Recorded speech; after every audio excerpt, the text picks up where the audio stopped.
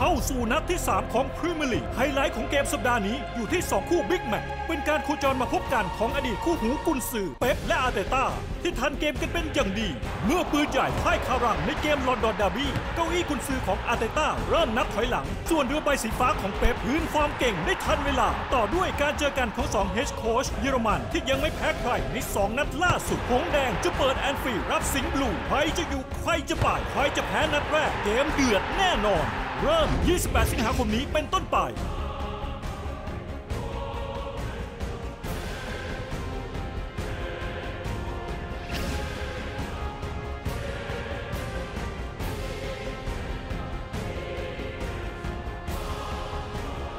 พรีเมียร์ลีกฤดูกาล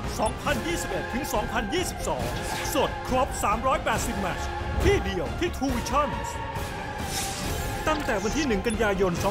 2564 สิ้นสุดวันที่ 30 กันยายน 2564